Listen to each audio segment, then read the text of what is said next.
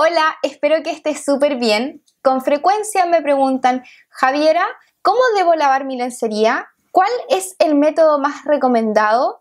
¿Puedo usar la lavadora? Estas dudas y más son las que aclararemos hoy. Bienvenida al canal, soy Javiera Perrier, fundadora y directora de Scora, marca de moda íntima a medida y personalizada. Antes de comenzar, quería preguntarte, ¿ya estás suscrita a nuestro canal? Recuerda que puedes suscribirte con el botón de abajo que dice suscríbete y activar la campana de las notificaciones para avisarte cuando hemos subido un nuevo video. El lavado de tu lencería es algo súper importante. Puede acortar o alargar la vida de tu lencería dependiendo de muchos factores.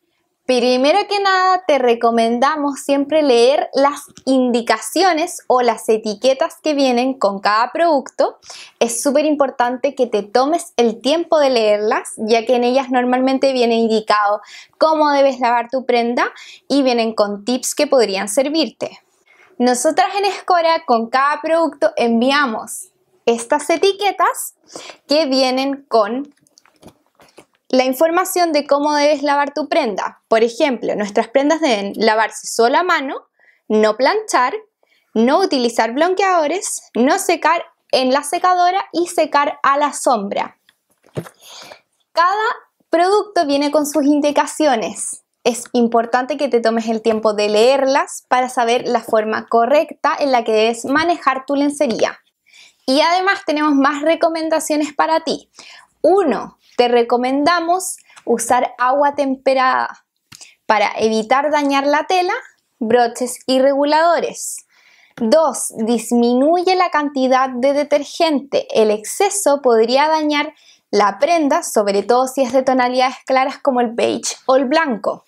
3. Para limpiar las zonas que se manchan con más frecuencia, te recomendamos usar la yema de tus dedos y así vas frotando sin demasiado exceso de fuerza.